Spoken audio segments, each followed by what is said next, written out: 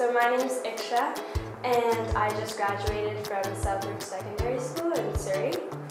And I am a first year undergraduate student in the Faculty of Science.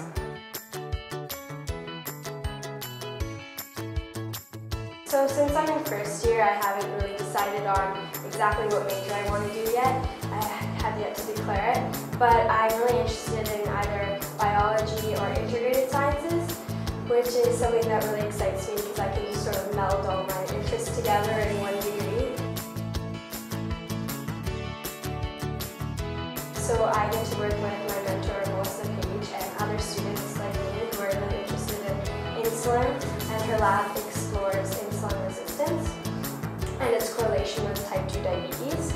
So we're sort of in the process of coming up with a research question related to that, and I'm just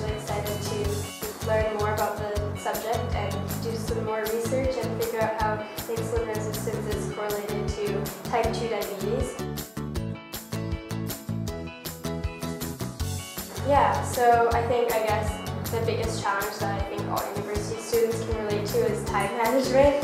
In high school, I was involved in a lot of extracurricular activities and I felt like I had a lot more time and I could balance my studies as well, but the workload has definitely increased. So it's been kind of hard for me to like meet new friends and like um, get try to figure out how I can get involved. So I'm super excited to start with this program in next term and get to know some more people. Mm, so something I think I'd like to get more into, I've sort of experimented with it a bit, but photography is something that I find super cool, especially Photoshop and playing with pictures, like um, changing the color saturation and things like that. I think you can have a lot of fun with that. So that's something that I'm And I love music. I wish I played an instrument. I used to play the flute, but I didn't really follow through with that. So I think if someone could find a way to like um, incorporate music into their project in relation to science, I think that would be amazing. And I'd be super inspired by that. I think um, throughout high school I was really passionate about visual art, so that's definitely one of the main art forms that I like to engage in. But another one that I consider an art form at least is DIY projects. that's definitely something that I always have constant lists of like different projects I want to do. And I just like, if I go to a store or something, I find a really cute like calendar or like the other day I saw a corkboard map at Anthropologie and it was like $50 and I was like, I bet I can make that. So I just grabbed a bunch of my friends and we took X-Acto knives and just like, cut out a world map great way to like spruce up your dorm room. So that's sort of the way that I my creative outlet for now.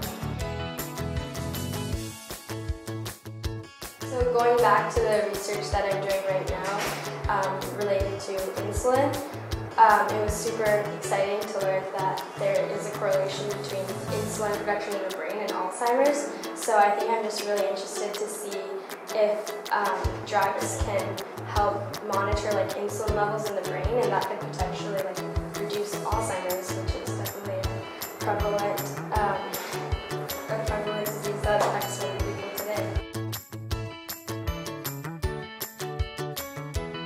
That architecture is like a form of science and art colliding. Um, yeah, I think definitely architecture is something that inspires me. Um, combining definitely two different areas, like design, which is a form of art, of course, like you want to make the building like really appealing and awesome, and um, in terms of science, like I think that uh, math that goes into it for sure, like design or figuring out how the building needs to be set up. Um, I wish I knew more about it, but yeah, like I, I saw the pharmaceutical building the other day Um, and the amount of work that have gone into